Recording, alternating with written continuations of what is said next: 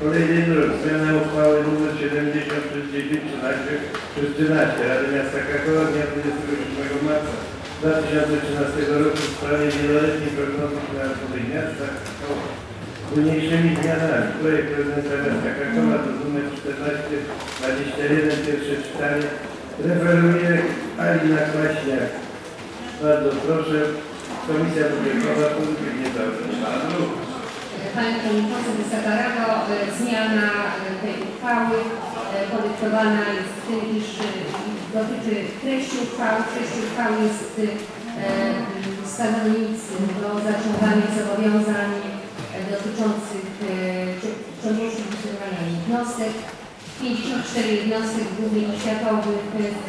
związku z zwiększego tego, zwiększenia tego limitu. Tu proszę Państwa chodzi głównie o umowy telekomunikacyjne. One są zawierane ponad rok e, zgodnie z ustawą i rozporządzeniem ministra finansów taką kwotę, do takiej globalną kwotę podajemy w treści uchwały.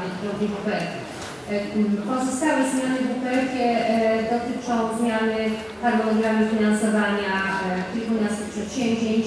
Jeżeli chodzi o przedsięwzięcia bieżące, dotyczy to głównie przedsięwzięć projektów realizowanych ze środków unijnych, w związku z tym, że zmienia się harmonogram finansowania i otrzymania środków bezwzględnych zmiany takiej winny nastąpić w WPF-ie.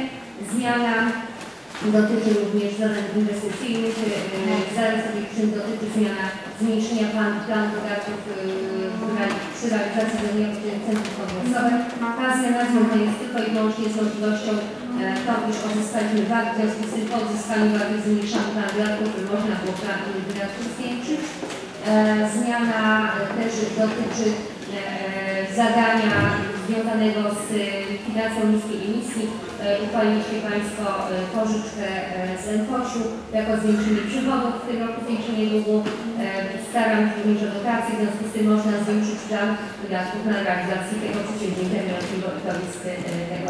Dziękuję bardzo. Dziękuję bardzo. Otwieram dyskusję. Czy ktoś z Pań Panów Radnych chciałby zabrać głos? Nie widzę. Stwierdzam, że Rada odbyła pierwsze czytanie projektu i zgodnie z paragrafem 36 ust.